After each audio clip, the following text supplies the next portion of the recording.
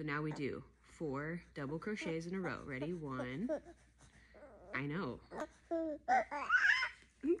I'm glad that you find this as interesting as I do because sometimes it's hard to find people that like crocheting that are closer to my age. Not that, you know, I am 30 years older than you, but how did we knot our yarn up so badly? You're making me nervous. I just want to impress you. Do you want to take a stab at it?